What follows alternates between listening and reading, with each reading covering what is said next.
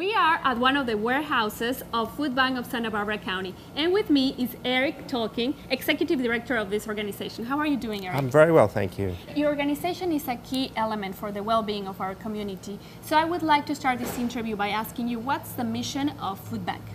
Well, our mission is to solve hunger and nutritional problems in Santa Barbara County. People have a lot of day-to-day concerns with not getting enough food, and the food bank is really there as a resource. I mean, we are a bank.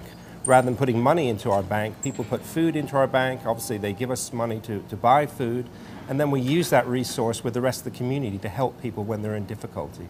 You know, the food bank is a county-wide organization. We have a large warehouse in Santa Maria. We have a large warehouse in Santa Barbara. The two of them work very carefully, moving food back and forth and we're shifting over 8 million pounds of food every year, of which about 3 million is, is produce. We serve about 135,000 people, and 48% of who we serve are children under the age of 18. So we're really hitting those people who, who need our help. Now, let's talk about how Food Bank operates here in the Santa Barbara County.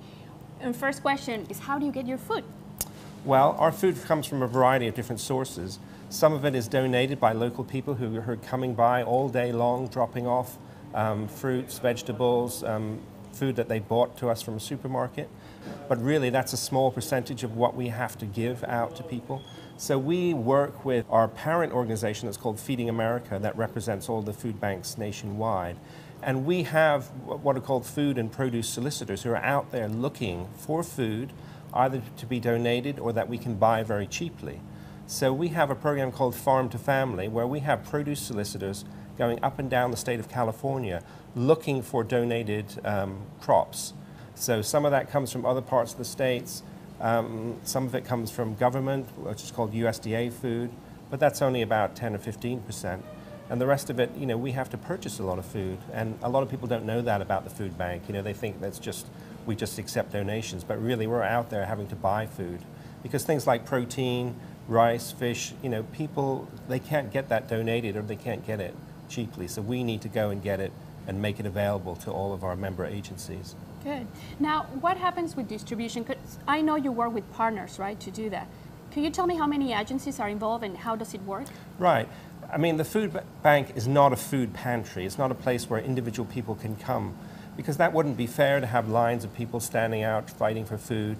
What we do is find partners in the community who are respected nonprofit agencies who have different programs that um, distribute food or they have um, meal programs or they have senior food delivery programs.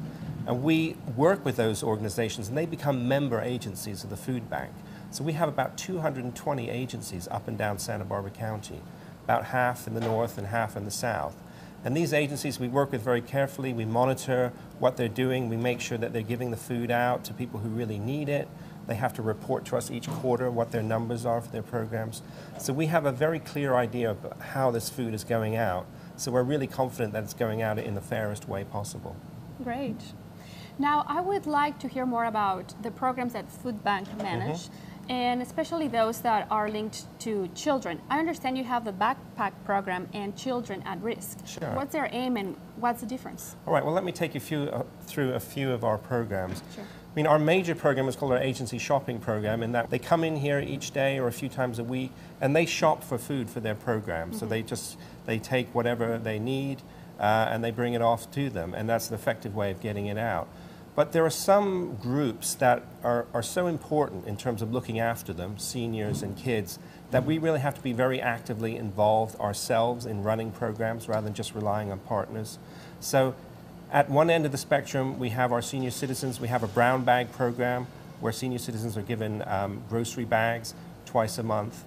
So that's really crucial to look after people when they're vulnerable at that age. But then the other vulnerable age is when people are very young. Mm -hmm. So we have a lot of programs that focus specifically on young people. And recently we, we brought some of our programs together into an initiative called Feed the Future, which is really designed in saying, let us transform the health of people in Santa Barbara County, and let's do it through using good nutrition. Kids, you know, they are very open to, to how they're going to live their lives. And so we want to really focus on those young children and not have the sort of nutrition education that you have in the past, where you, you get your little leaflet, it's got your food pyramid on it, and people wag their fingers at you and say you must have this much of this and that. and it kind of goes right through people. They don't accept it. So we're more interested in nutrition education that focuses on, first of all, showing children where the food is coming from, really getting them to farmers markets, getting them to farmers, and just seeing, you know, this food is out there in California. You can use this food to be healthy. So they, they learn that, but then they also learn about cooking. You know, nutrition education is all about cooking. If you can go to a farmer's market and pick up this, this, this, and that, and then cook it really quickly into something delicious and healthy, that gives you a real lot of power. So we're really trying to have that sort of experiential education that encourages kids to, to just take control of their health. Well, thank you for all that information. There is mm -hmm. so much more to learn about Food Bank, but we encourage them to visit your website. Could mm -hmm. you mm-hmm. help us uh, Absolutely. Um, you know, we're very interested in working with the community. We have about 350 volunteers at the moment. We need more. Um, and there are many ways to interact with the food bank. So I would really encourage people to go to our website, uh, which is www foodbank, SBC, as in Santa Barbara County, dot .org. You know, we would really love to work with the community even more than we are. Great. So please get involved. This is a great organization to, to really help and support in any way. Well, thank you again, Eric, for all that information, and I wish the best for you and Food Bank of Santa Barbara County. Thank you very much.